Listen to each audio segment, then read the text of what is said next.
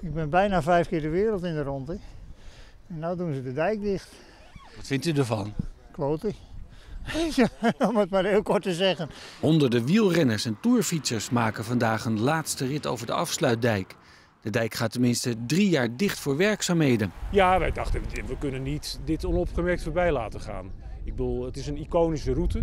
Je hebt de Kouberg, je hebt de Postbank, je hebt het kopje van Bloemendaal en je hebt de afsluitdijk. Nou, ik vind dat het een, een saluut aan deze dijk moet gebracht worden. Nou, voorlopig voor de laatste keer de Afsluitdijk over. Eh, met de HTC Dok, hè, de fietsvereniging uit Den Helder, maken we regelmatig gebruik van de, van de Afsluitdijk. Met allerlei tochten. Ja, en dat is nu even drie jaar eh, afgelopen. En Dirk de Vries uit Wervershoofd was nog wel van plan om dit jaar zijn duizendste rondje IJsselmeer te maken. Of dat gaat lukken? December 2017 ging de dijk van Enkhuizen naar Lelystad het fietspad al dicht. Dus daar zit ik al anderhalf jaar in een busje elke keer. Het is een handicap eventjes. En ik denk, nou, ik, ik, blij, ik rijd blij die duizend rondjes in de ronde. Maar dat, eh, dat, ze maken het nu wel moeilijk.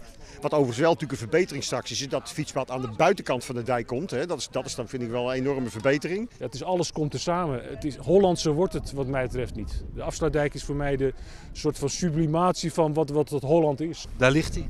Ja, we gaan er zo van genieten. Heerlijk, 30 kilometer, lekker beuken naar Friesland.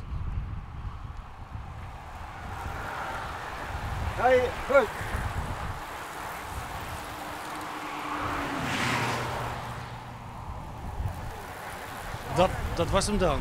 Ach, het was een genot jongens. De laatste keer af, afsluitdijk. Echt de laatste keer, althans. Na maandag. Ja, maandag eh, afkicken en eh, nog even een beetje namijmeren over deze mooie tocht. Nou, het laatste stukje nog. Dankjewel.